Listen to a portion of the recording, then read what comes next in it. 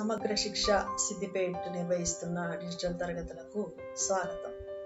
నేను V Prashanti MP UPS Mundrai Nanguru mandal. ఈరోజు మనము పదవ తరగతి గణితంలోని శ్రేణులు అనే అధ్యాయంలోని అంకశ్రేణి సాధారణ రూపం గురించి చెప్పుకుందాం. ఇది చెప్పుకోబోయే ముందు అంకశ్రేణి అంటే ఏంటో తెలుసుకోబోయే ముందు మనము కొన్ని సంఖ్యల జాబితాలను పరిశీలిద్దాం. మొదటి జాబితా చూద్దాం. ఒకటి రెండు మూడు నాలుగు ఐదు. ఈ విధంగా. ఇక్కడ స్క్రీన్ మీద చూడండి మీరు. ప్రతి అంశం కూడా మీ నోట్బుక్లో రాసుకోవాలి. ఇందులో ఈ జాబితాలో ఉన్నటువంటి ప్రతి పదము కూడా పరిశీలిస్తే ఒకటి తేడా ఉంది ఒకటి రెండు రెండు మూడు రెండుకి ఒకటి కలిపితే మూడు మూడుకి ఒకటి కలిపితే నాలుగు నాలుగు ఒకటి కలిపితే ఐదు ఈ విధంగా. కదా? అయితే ఇందులో మనము ఏం పరిశీలిస్తున్నాము అని అంటే ఒకటికి ఒకటికి ఒకటి కలపగా రెండు. అదేవిధంగా రెండుకు ఒకటి కలపగా మళ్ళీ మూడు. మూడుకు ఒకటి కలపగా నాలుగు. నాలుగుకు ఒకటి కలపగా ఐదు. ఈ విధంగా. అంటే ప్రతి పదములో కూడా ఒకటి తేడా ఉంది. ఇట్లాంటిది ఇంకో షేడిని కూడా ఇంకో జాబితాను కూడా పరిశీలిద్దాం. ఏంటది? వంద డెబ్బై నలభై పది మైనస్ ఇరవై కదా? ఈ విధంగా. ఇందులో చూద్దాం. మొదటి పదానికి రెండవ పదానికి ఎంత తేడా ఉంది అని అంటే ముప్పై తేడా ఉంది. అంటే మొదటి పదం నుంచి ముప్పై తీసివేయగా రెండవ పదం వస్తుంది లేదా? మొదటి పదానికి మైనస్ ముప్పై కలపగా డెబ్బై వస్తుంది. కదా? అట్లే మరి రెండవ పదానికి మూడవ పదానికి తేడా ఏముంది అని అంటే ఇందులో కూడా అంతే మైనస్ ముప్పై కలపగా నలభై వస్తుంది. నలభైకి మళ్ళీ మైనస్ ముప్పై కలపగా పది. పదికి మైనస్ ముప్పై కలపగా మైనస్ ఇరవై. ఈ విధంగా. కదా?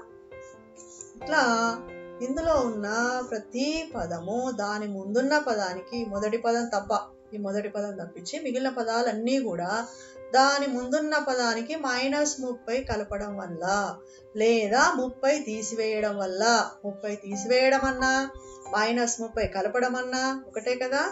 తర్వాత ఇంకో జాబితాను పరిశీలిద్దాం. ఇందులో అన్ని సమాన సంఖ్యలు తీసుకున్నాం కదా? ఐదు ఐదు ఐదు ఐదు. ఈ విధంగా. ఇప్పుడు ఈ రెండింటికి తేడా అయింది అని అంటే ఏం లేదు తేడా ఏం లేదు. ఇక్కడ ఇదే ఉంది ఇక్కడ ఇదే ఉంది. కదా? మరి తేడా లేదన్నప్పుడు ఏమందాము? సున్నా కలపడం వల్ల లేదా సున్నా తీసేయడం వల్ల ఎట్లన్నా సరే కదా? తర్వాత ఇక్కడ చూద్దాం. ప్రతి పదము కూడా దాని ముందున్న పదానికి సున్నా కలపడం వల్ల ఏర్పడ్డ జాబితా. ఈ మూడు జాబితాలను చూస్తే ఈ మూడు జాబితాలో కూడా ప్రతి పదము దాని ముందున్న పదానికి ఒక స్థిర సంఖ్యని కలపడం వల్ల ఏర్పడినటువంటి జాబితాలే. అంటే మొదటి పదం తప్ప కదా? ఈ మూడు జాబితాల నుంచి మనం గ్రహించినటువంటి అంశాలను మనం ఇక్కడ రాసుకుందాం. మీరు కూడా నోట్బుక్లో రాసుకోవాలి.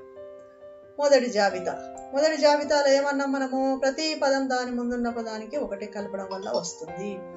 అట్లే రెండవ జాబితా. రెండవ జాబితాలో ప్రతి పదం దాని ముందున్న పదానికి మైనస్ ముప్పై కలపడం వల్ల లేదా ముప్పై తీసివేయగా వస్తుంది. తర్వాత మూడవ జాబితా. మూడవ జాబితాలో ప్రతి పదం దాని ముందున్న పదానికి సున్నా కలపడం వల్ల వస్తుంది. కదా? ఇక్కడ ఈ మూడు అంశాలను మనము మూడు జాబితాల నుంచి పరిశీలించాం.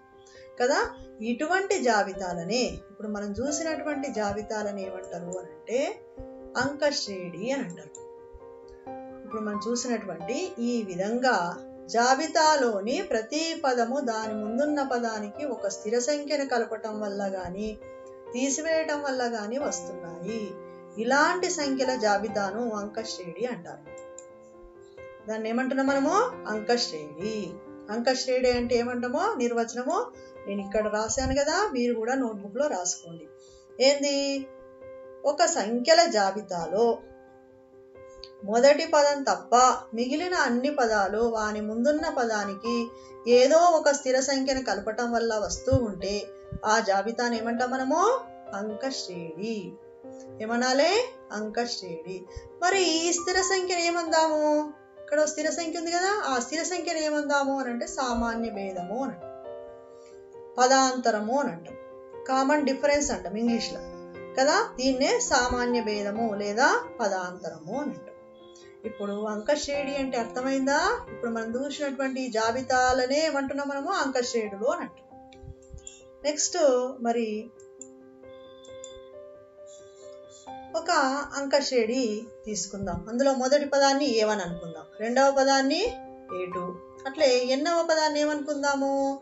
ఏఎన్ అనుకుందాం. ఇందులో స్థిర సంఖ్య సామాన్య భేదాన్ని ఏమనుకుందాము? డి అనుకుందాం. అప్పుడు అంకశ్రేణిని ఏ విధంగా రాయొచ్చు? A one a two dash dash a n మరియు ఇక్కడ మనము పదాంతరము సామాన్య భేదం అంటున్నాం కదా అది ఏ విధంగా వస్తుంది అని అంటే రెండవ పదం నుంచి మొదటి పదం తీసేయగా వరుసగా ఉన్న రెండు పదాల భేదాన్ని మనం ఏమంటున్నాము?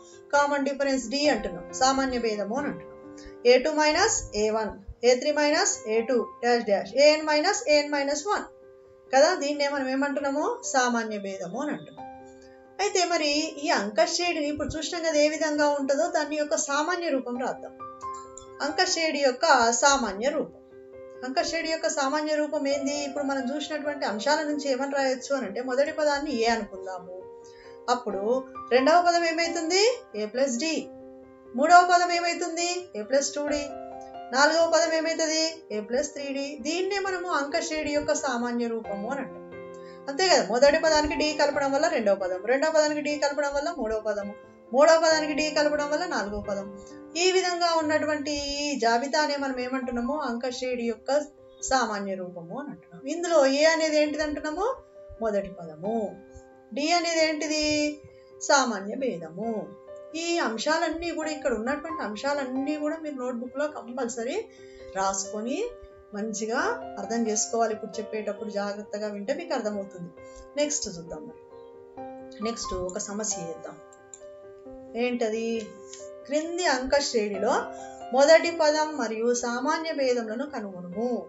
ఫస్ట్ ఈ అంక శ్రేణిని జాగ్రత్తగా చూడండి. ఏమున్నది? ఫస్ట్ పదం ఏమున్నది? మైనస్ వన్ పాయింట్ టూ సెకండ్ది minus three point two third పదం ఏముంది? మైనస్ ఫైవ్ పాయింట్ టూ ఫోర్త్ది మైనస్ సెవెన్ పాయింట్ టూ మరి ఏం కనుక్కోమన్నారు ఇందులో అని అంటే మొదటి పదము మరియు సామాన్య భేదములను కనుగొనుము అని మొదటి పదం చూడగానే తెలిసిపోతుంది. మొదటి ఉన్నటువంటి పదాన్ని మొదటి పదం అంటున్నాము. ఏంటిదా మొదటి పదము? ఏ ఈక్వల్ టు మైనస్ ఒకటి పాయింట్ రెండు. కదా? తర్వాత ఇందులో సామాన్య భేదం కూడా కనుక్కోమన్నారు కదా. సామాన్య భేదం ఎట్లా వస్తుంది మనకు? వరుసగా ఉన్న రెండు పదాల భేదము. ఇక్కడ నేనేం చేస్తున్నా? A two minus a one అంటే రెండో పదం నుంచి మొదటి పదం తీసేస్తున్నా. మీ ఇష్టం మీరు ఏదైనా తీసేయచ్చు. మూడో పదం నుంచి రెండో పదం కూడా తీసేయచ్చు. A three minus a two చేయొచ్చు. తర్వాత a four minus a three చేయొచ్చు. ఏదైనా సమానంగానే ఉంటుంది. అంకశ్రేణి కాబట్టి ఇది స్థిరంగానే ఉంటుంది సామాన్య భేదం అనేది. ఇప్పుడు a two minus a one చేద్దాం. ఏ టూ ఎంత ఉంది minus three point two minus three point two minus అంతే కదా? ఏంటో? Two minus minus a one. ఈ ఏ వన్కు బదులు minus one point two. A one ఎంత ఉంది మైనస్ వన్ పాయింట్ టూ ఇక్కడ వేసుకో.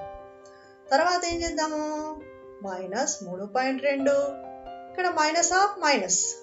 ఏ వన్కు మైనస్ ఉంది? మనం ఆల్రెడీ ఇక్కడ మైనస్ వేసుకున్నాం. కాబట్టి మైనస్ ఆఫ్ మైనస్ ఏమవుతుంది? ప్లస్ ఒకటి పాయింట్ రెండు. కదా? Minus two. అంటే ఇక్కడ సామాన్య భేదం ఎంత వచ్చింది మనకు? మైనస్ రెండు వచ్చింది. అట్లే మీరు ఒక చిన్న సులువైన సమస్య ఇస్తా అది మీ నోట్బుక్లో చేయండి. చూద్దాం. అంక శ్రేణిలో మొదటి పదం ఏ ఈక్వల్ టు నాలుగు సామాన్య భేదం డి ఈక్వల్ టు మైనస్ మూడు. అయినా అంక శ్రేణిని రాయండి. మీరు ఏం చేస్తారు? అంక శ్రేణిని రాయండి. మొదటి పదం ఉంది టీ ఉంది. సామాన్య రూపం రాసుకోండి. రాసుకొని దాని నుంచి రాయండి. తర్వాత మరి ఇంకా కూడా ఈ అంకశ్రేణి మీద ఇంకా కొన్ని సమస్యలు ఉన్నాయి ఇంకా కొన్ని అంశాలు ఉన్నాయి చెప్పుకునేటి అవన్నీ కూడా మనం నెక్స్ట్ క్లాస్లో చెప్పుకుందాము. చెప్పుకోబోయే ముందు మనం నేర్చుకున్నటువంటి అంశాలను ఒక్కసారి మనము గుర్తు తెచ్చుకోం మనం ఏం నేర్చుకున్నాము ఇంతవరకు ఈ రోజు క్లాస్లో ఏం నేర్చుకున్నాము అని అంటే ఒక్కసారి మళ్ళీ పునర్విమర్శ చేసుకుందాం. ఏం నేర్చుకున్నాం మనము? శ్రేణులల్లా అంక శ్రేణి గురించి అందులో నిర్వచనము సామాన్య రూపం. నిర్వచనం అంటే నిర్వచనం చెప్పుకున్నాం. ఏం చెప్పుకున్నాం నిర్వచనము? మొదటి పదం తప్ప ప్రతి పదము దాని ముందున్న పదానికి ఒక స్థిర సంఖ్యను కలపటం వల్ల ఏర్పడ్డ జాబితాను అంకశ్రేణి అంటారు. స్థిర సంఖ్యను ఏమన్నాము? సామాన్య భేదము అన్నాం. తర్వాత సామాన్య రూపం ఏంటిది? A. A plus d. A plus two d. A plus three. ఇందులో మొదటి పదాన్ని ఏ అని సామాన్య భేదాన్ని డి అని. ఇవన్నీ అంశాలు నేర్చుకున్నారు కదా మీరు. ఈ రెండు అంశాలు వీటి మీద మీ అభ్యాసంలో సమస్యలు ఉన్నాయి మీరు సాధించండి. తర్వాత అంశము తర్వాత క్లాస్లో నెక్స్ట్ క్లాస్లో చూద్దాం. ఓకే